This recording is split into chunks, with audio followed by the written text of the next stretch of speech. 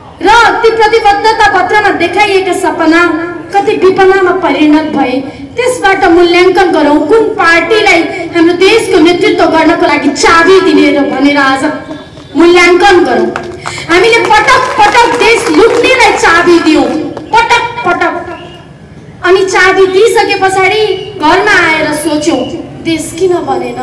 भनेर। चाबी जब वही चोरलाई दिनुहुन्छ देश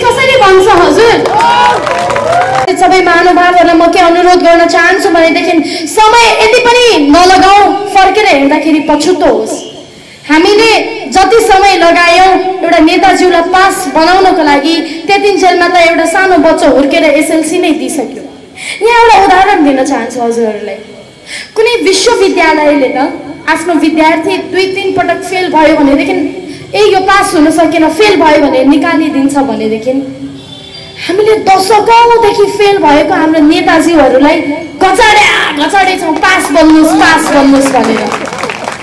एउटा फेल नेताले देशलाई फेल गर्न सक्छ पास गर्न सक्दैन। यो यो अति नै संवेदनशील र अति नै चुनौतीपूर्ण घडी छ। अब प्रश्न हामीतिर तेर्सिन्छ हामीले हाम्रो देशलाई पास बनाउने कि नबनाउने? हामीले हाम्रो देशलाई पास बनाउनको लागि कहिलेदेखि पाइला टेक्ने?